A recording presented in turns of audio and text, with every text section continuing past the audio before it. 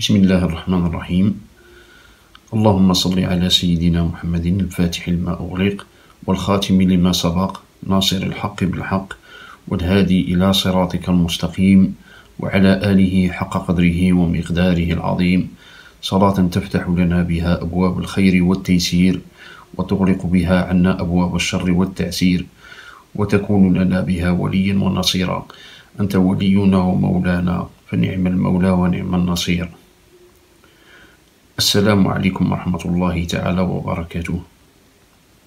أيها الإخوان الكرام أيتها الأخوات الكريمات في هذه الحلقة إن شاء الله سوف أنجز لكم ما وعدتكم به من دعوتي بسم الله العظيم الأعظم أهم سقكون حلعون يصو وهذه الحروف التي تكلمنا عليها في الفيديو السابق والتي لها من الأسرار والخواص ما لا يحصى ولها من المنافع ما لا يستقصى. حتى قال الكثير من العلماء إنها اسم الله العظيم الأعظم الذي إذا دعي به أجاب وإذا سئل به أعطى لما جربوا فيها من ووجدوا فيها من الأسرار والكرامات الكثيرة في قضاء الحوائج وشفاء الأمراض وجمع الشمل وجلب الرزق وشفاء المريض والإصلاح ذات البين وإصلاح بين المتنافرين وطلب العلم وكشف عن عن ظلمات القلب والكشف عن العلوم والأسرار بالدعاء ببركة هذه الحروف الشريفة والكثير الكثير من الفوائد التي لا حصر لها لا يمكن حصرها. وقد بدأنا في الفيديو المقبل حاولنا أن نشرح بعض آه، تفاصيل آه، هذا الاسم وكيف يعني آه، أنشأه العلماء. ولنزيد ذلك توضيحا إن شاء الله في هذا الفيديو وفي هذه الحلقة. ونضع في آخر الفيديو إن شاء الله الدعوة الخاصة بهذا الاسم الذي تتلى بعده وتتلى في مراتبه. وأيها الإخوة الكرام أن هذا الاسم الشريف كما قلنا هو أهم سقاكون حلاع يصفو.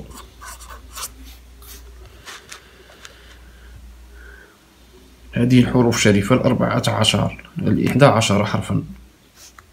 إحدى عشر حرفا فيها هذا الاسم الشريف اشتمل على ثلاث أحرف نارية. وثلاثة أحرف هوائية. وثلاثة أحرف ماوية. وحرفان ترابية. بمعنى هذه الحروف اشتملت على جميع العناصر وجميع الطبائع. ولذلك سرها ظاهر وباهر. وسنتكلم على فوائدها كثيرا إن شاء الله. فتابعونا إن شاء الله في الدروس المقبلة إن شاء الله تعالى. وأن لكل حرف منها سر من الأسرار كل حرف منها له سر من الأسرار لا يعد في قضاء الحوائج والحروف المائية فيها. الحروف نبدأ بالحروف النارية أولا. هو حرف الهاء والألف والميم. هذا حرف ناري ألف وحرف الهاء حرف ناري. وحرف الميم حرف ناري. والحروف الترابية حرفان. وهو حروف الياء والصاد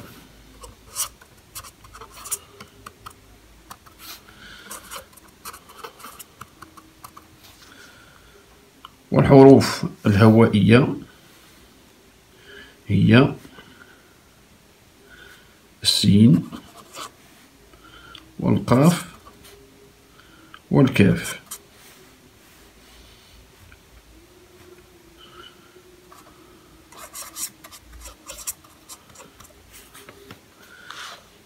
الحروف المائية هي الحاء واللام والعين.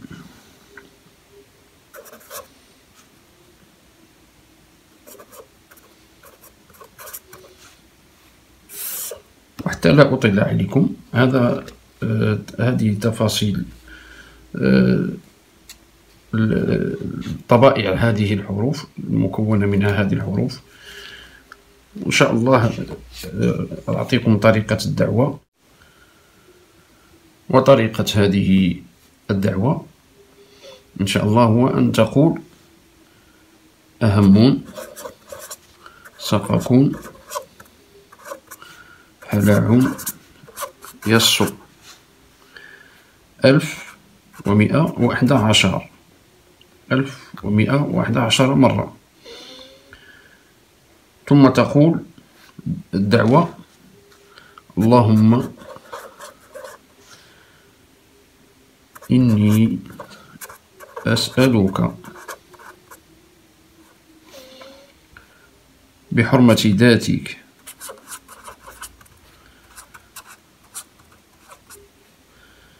وسناء صفاتك. وجلال اسمك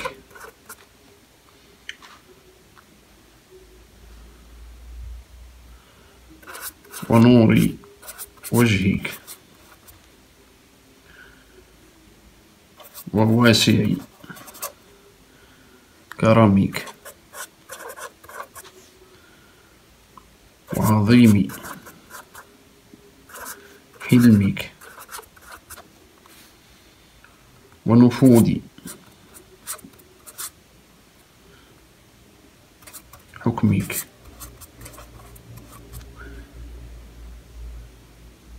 ووفاء عهدك أن تسخر لي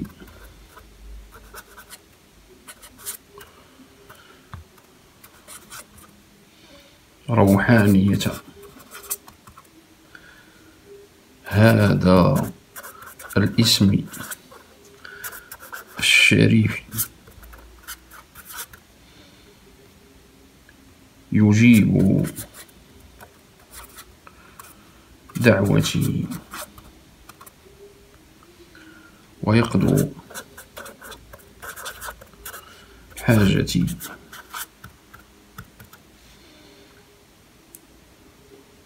ويطيع ويطيعوني فيما أريد.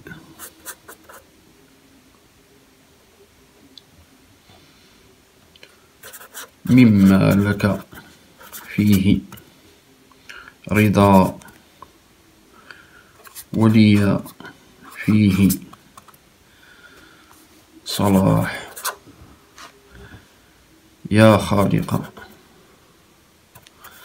الأرواح. إنك على كل شيء قدير.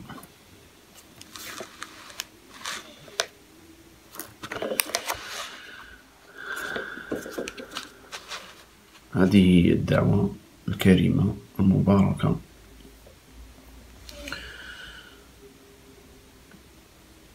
وطريقة آه، الاشتغال بها هي أن تقرأ آه، الاسم الشريف وتقرأ هذه الدعوة آه، واحد وعشرين مرة بعد نهاية العدد بعد نهاية هذا العدد ألف ومئة وإحدى عشر. ولكن تقرأه مرة على رأس كل مراتب.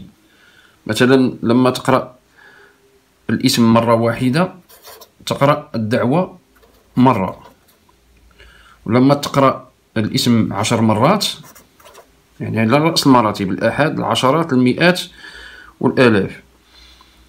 لما تقرأ الاسم عشر مرات تقرأ الدعوة مرة. ولما تقرأ على رأس كل مئة على رأس كل مئة حتى نهاية العدد على رأس كل كل مئة. تقرأ الدعوة. الدعوة. مرة. حتى نهاية العدد ولما تفرغ نهائيا من من قراءة هذا الاسم وهذه الطريقة بعدها تقرأ الدعوة واحد وعشرين مرة. وتختيم بالصلاة على النبي صلى الله عليه وسلم لأنه هو باب الإجابة وباب الله تعالى. فالزم رحابه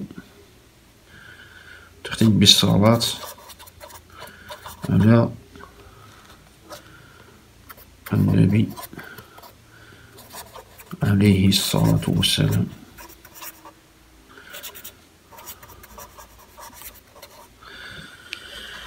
وهذه هي الطريقة. وأرجو من كان له أي سؤال أن يضعه إن شاء الله في التعليق. ولم ومن لم يكن له سؤال فليعلق بالصلاة على النبي صلى الله عليه وسلم. وادعوا معنا إن شاء الله في ظهر الغيب. إن شاء الله تقضى حوائجكم ويفرج الله كروبكم وتابعونا في هذه القناة وادعموا هذه القناة إن شاء الله حتى تصل إلى الكثير من الناس المحتاجين إن شاء الله إلى الفوائد الصحيحة المجربة وإلى العلم الصحيح.